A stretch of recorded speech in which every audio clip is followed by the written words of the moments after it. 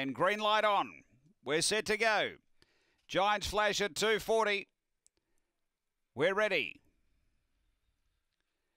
Racing and speed off the inside. Bex Manelli's driving through, looking for the lead. It's getting pretty tight, but Bex Manelli driving through lead. Oh, getting Chop Jackswell out the back, and something's gone amiss there. They race out of the straight, and Victor Reed led from Bex Manelli. Giants flash on the scene.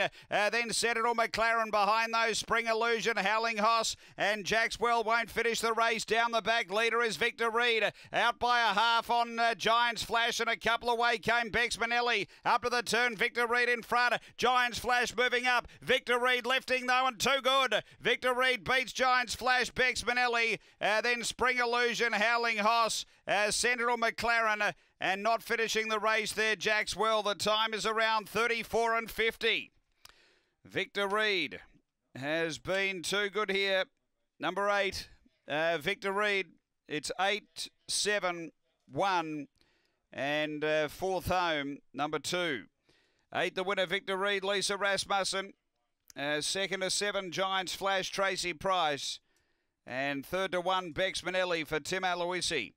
It is 8712 3451 after race number 10 here at Angle Park.